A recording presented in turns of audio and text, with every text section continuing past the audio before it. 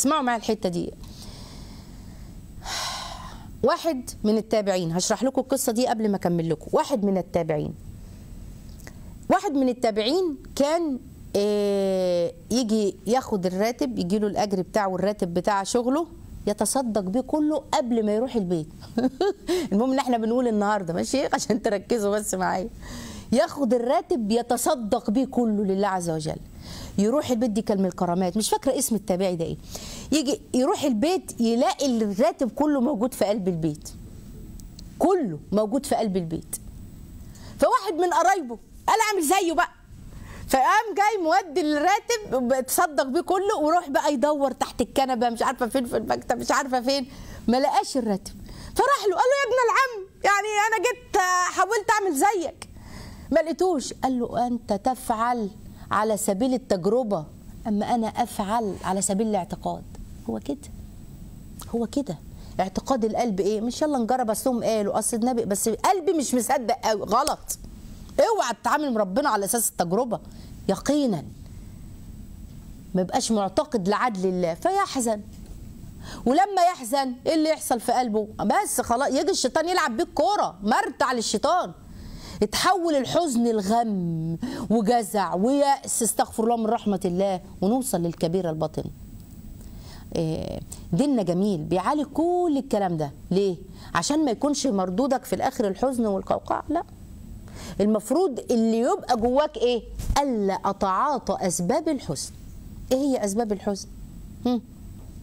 تعلق بالدنيا والناس والم... والمفقودات. والأشخاص والمواقف وعلق على الناس وخذلني وعملتني. ولا بصوا كده بص سيد حديث سيدنا جبريل لما قال للنبي عليه السلام إيه جاء جبريل النبي صلى الله عليه وسلم قال يا محمد عش ما شئت فإنك ميت يبقى أعمل بقى للآخرة بقى ما هو أنا أنا عايش أهو في الدنيا أعمل للآخرة ما بيبقى والله ما بيفضل بعد ذكر الميت ولسه لينا هو يعني حد صالح توفاه الله في غربة نسال الله سبحانه وتعالى يجعله شهيد.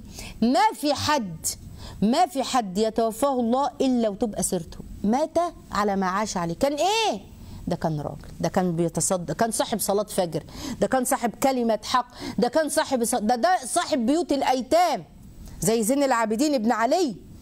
لما مات لقوا اثر حمل ال- ال- ال- الشويلة والحبال على ظهره هو اللي كان بيشيله. وكان يعدي عليه الناس المنافقين يقولوا إيه أنت ما بتتصدقش ده أنت بخ... وهو اللي كان كافي بيوتهم.